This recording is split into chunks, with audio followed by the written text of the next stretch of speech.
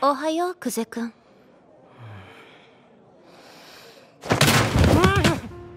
おはよう久世くんまた深夜アニメ？おおはようありゃ。まそんなところだ。あなたも懲りないわね。睡眠時間削ってまでアニメ見て学校で眠くなってちゃしょうがないじゃない。